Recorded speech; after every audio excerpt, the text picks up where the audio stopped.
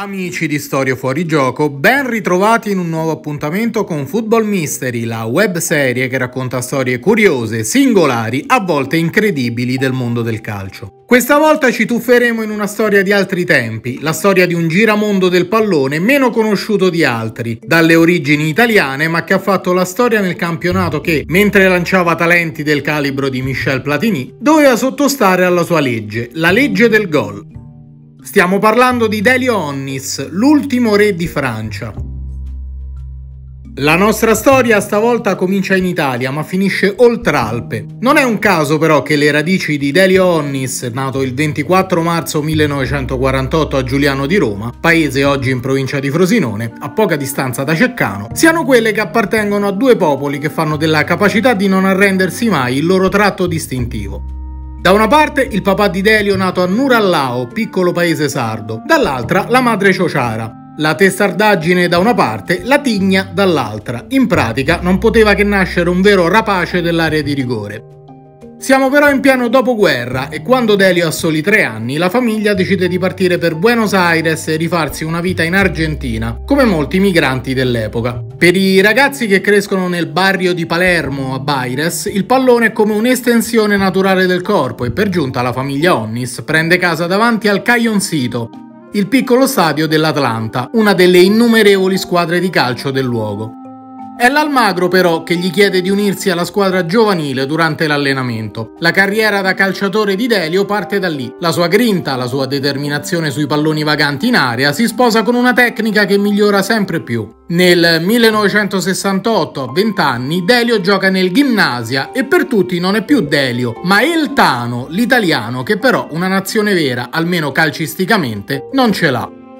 In Italia vige una regola per cui un italiano all'estero non può giocare tra i professionisti senza almeno tre anni in Serie C, norma alla quale dovette sottostare anche Giorgio Chinaglia quando tornò dal Galles. In più, i calciatori che non giocano nei campionati nazionali non possono essere presi in considerazione per le convocazioni. In Argentina, d'altra parte, il tanto agognato passaporto non arriva. Onnis cresce tra gli attaccanti migliori della sua generazione, tra Mario Kempes e Carlos Bianchi, con il quale ingaggerà una rivalità straordinaria, ma non in Argentina. I problemi con i documenti lo persuadono a lasciare l'Argentina e fanno spegnere gli interessamenti del Napoli e del Cagliari, che aveva pensato ad Onnis per affiancare Riva dopo il brutto infortunio, riportato in nazionale che interruppe la cavalcata in Coppa dei Campioni dei Sardi, orfani del loro bomber. Arrivati nel 1971, Onnis ha messo dentro 64 gol in campionato col Gimnasia, ma è la Francia la sua nuova destinazione. Il Reims, il club che aveva conteso la prima Coppa dei Campioni al Real Madrid e che vantava un mito come Raymond Copà, Sceglie Eltano che regala subito una vittoria con una doppietta. È amore a prima vista con la Francia, tanto che Jean-Louis Camporà decide di portarselo nel suo ambizioso Monaco. Monte Carlo, il casino, un mondo che non può certo corrompere il carattere d'acciaio sardo-ciociaro di Delio, che smette di essere Eltano e torna ad essere Delio per tutti, ma soprattutto per i tifosi che a Monte Carlo cantano il suo nome ad ogni gol. Ne segnerà tantissimi, 157 in 232 presenze nella Ligan, tra il 1973 e il 1980, anni passati a battagliare con Carlos Bianchi e un certo Michel Platini, che quando arrivò in Italia si sentì chiedere come mai non fosse mai stato capocannoniere in Francia, rispose: impossibile competere con due mostri come Onnis e Bianchi. Le origini di Delio lo rendono impermeabile alle lusinghe, la sua serietà è proverbiale. L'unico rimpianto è l'impossibilità di essere preso in considerazione per la nazionale italiana. Le regole sul tesseramento dei calciatori, che verranno abolite solo nel 1980, imponevano ai commissari tecnici delle nazionali di convocare i soli calciatori italiani militanti nel campionato italiano. Ma il bomber racconterà di essere rimasto molto colpito da un particolare aneddoto nel corso della sua carriera. Pur dal carattere schivo, Delio è sempre molto disponibile con i tifosi e capita non di rado di vederlo firmare autografi fuori dallo stadio di Monte Carlo. Un giorno, mentre appone la firma su una maglia, vede che accanto a lui c'è un passeggino con la piccola figlia del tifoso e chiede come si chiami la bambina. Delio è la risposta che lo lascia senza parole. Un culto della personalità per i tifosi del Monaco non inferiore a quello per gli altri attaccanti che si stanno facendo largo in Argentina, non solo Bianchi e Kempes, ma anche Leopoldo Luque, Jorge Valdano e un certo Diego Armando Maradona, un diciottenne che si dice tocchi la palla coi piedi come una persona normale farebbe con le mani. Delio continua a parlare un solo linguaggio, quello del gol. Al Monaco vince il campionato e la classifica dei cannonieri con 30 gol, ma a 32 anni, nel 1980, finisce l'avventura con la squadra che ha maggiormente contraddistinto la sua carriera. E finisce per un litigio, anche qui le origini sardo-ciociare c'entrano, e come.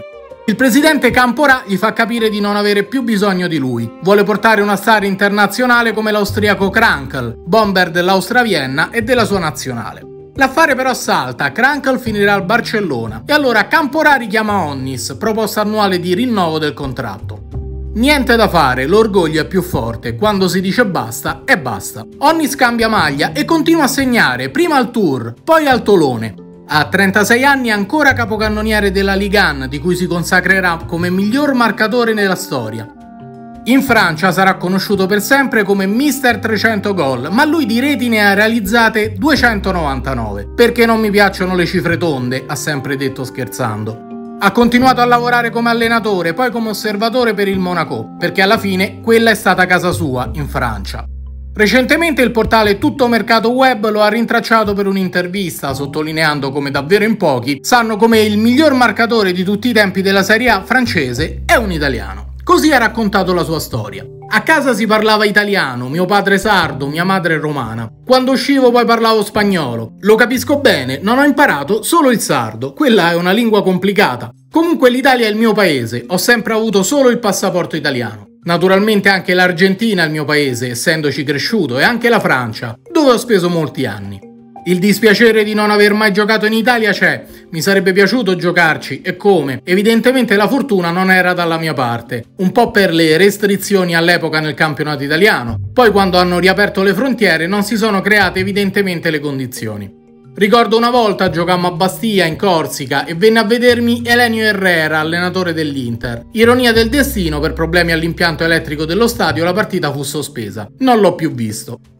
Avevo fiuto del gol, sangue freddo e sapevo come destreggiarmi negli ultimi 20 metri. Los espacios calientes, come diciamo in Argentina. Per rendere meglio l'idea, David Trezeguet è un giocatore che mi somigliava. Ora sono pensionato, ho lavorato come osservatore. Vidi Higuain quando era a River Plate e lo proposi. Poteva andare al Monaco per pochi soldi, fu scartato. E indovini un po', sei mesi dopo è stato acquistato dal Real Madrid. Ma alla fine gli chiesero, dopo una vita da giramondo, De Lionnis di quale squadra si sente tifoso? Del Frosinone, fu la risposta. Se il video ti è piaciuto non dimenticare di lasciare un like e soprattutto di iscriverti al canale per essere sempre aggiornato sui prossimi appuntamenti di Football Mystery. Alla prossima!